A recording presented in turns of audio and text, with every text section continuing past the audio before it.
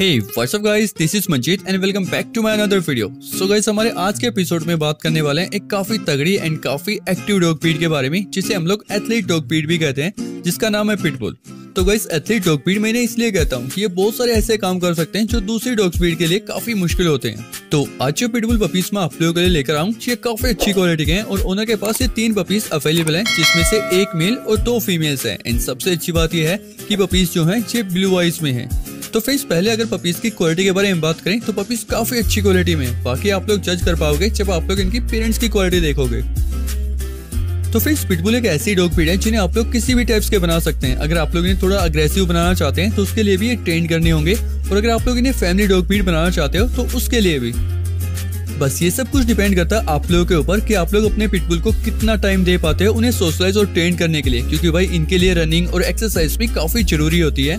क्योंकि ये चीज़ मैं आप लोग को स्टार्टिंग में बता चुका हूँ कि one of the energetic dog breed में से एक है तो इनकी एनर्जी को वेस्ट कराना काफ़ी ज़रूरी होता है। वैसे दोस्तों, काफ़ी लोग ऐसे होते हैं जो स्पेशली इसी चीज़ के लिए पूछते हैं कि भाई हमें पिटबुल तो चाहिए बट वो सिर्फ़ ब्लू आइज़ में होना चाहिए। तो जिन लोगों की भी ऐसी रिक्वायरमेंट है, उन लोगों के लिए पपीज बहुत ही अच्छे हैं। और पर्सनली मुझे कलर भी काफ़ी प्यारा लगा। बाकी आप लोगों को व्हाइट कलर के पिटबुल पसंद है क्या फिर नहीं? ये चीज़ मुझे कमेंट सेक्शन में लिख के ज़रूर बताएँ। और वैसे भी दोस्तों, उन्होंने प्राइस काफ़ी रीजनेबल रखा है। क्योंकि अगर आप लोग ब्लू आइस के पिटबुल को परचेज करते हो तो उनका प्राइस थोड़ा एक्सपेंसिव होता है। बाकी तीनों ही पपीज बिल्कुल एक्टिव है और उन्होंने इनकी डिफॉर्मिंग भी कर रखी है। बट भाई, ये चीज़ तो आप लोगों को खुद भी करनी होगी क्योंकि स्टार्टिंग में जो पपीज होते हैं, उनकी डिफॉर्मिंग 15 डेज़ में होती है। उसके बाद से आप लोग मंथ में कर सकते हैं और धीरे धीरे जैसे उनकी एज बढ़ती है तो उसी तरह से आप लोग उनकी डिफॉर्मिंग साइकिल चला सकते हो। तो फ्रेंड्स एक बार मैं आप लोगों को इनके पेरेंट्स से मिलवा देता हूँ। तो ये देखिएगा ये है इनकी मैटिंग की वीडियो दोनों डॉग्स बहुत ही अच्छी क्वालिटी में जो व्हाइट कलर में वो है फादर और जो ग्रे कलर में है, वो है मदर वैसे दोस्तों पपीज जो हैं, ये होम ब्रीडिंग के हैं। तो अगर आप लोग चाहो तो डॉग ओनर को वीडियो कॉल करके इन पपीज को लाइव भी देख सकते हो।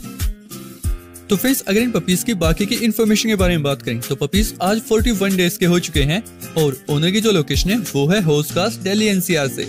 एंड बाई डिलीवरी में आप लोग को ऑप्शंस नहीं मिल पाएँगे, अगर आप लोगों के लिए पॉसिबल है डायरेक्ट ओनर को विज़िट करना। तो ही आप लोग डॉग ओनर से कॉन्टेक्ट करें, क्योंकि ओनर आप लोग को डिलीवरी प्रोवाइड नहीं करा पाएँगे। वैसे भी डायरेक्ट चेकर आप लोग इनके पेरेंट्स से मिल सकते हो और पपीज की क्वालिटी को भी अच्छे से देख सकते हो और तीनों में से एक फ्रेश पपी ला सकते हो। बाकी फाइनली अगर इनके प्राइस के बारे में बात करें तो भाई उन्हें जो इन पपीज के प्राइस की डिमांड की है वो मेल की किए टेन थाउज़ेंड पीस दस हज़ार रूपए एंड फीमेल की किए जस्ट एट थाउज़ेंड पीस यानी सिर्फ़ आठ हज़ार रूपए। भाई ऐसे क्वालिटी को देखते हुए प्राइस बहुत ही रीजनेबल है। बाकी प्राइस के लिए आप लोग दो से और भी बात कर सकते हो। आई I मीन mean, थोड़ा बहुत प्राइस कम और भी हो सकता है। बाकी अगर इन पपीज की क्वालिटी और ये वीडियो पसंद आई तो प्लीज़ वीडियो को भी लाइक ज़रूर कर दें। तो मिलता हूँ आप लोगों से एक और न्यू एंड इंटरेस्टिंग वीडियो में। So take care and bye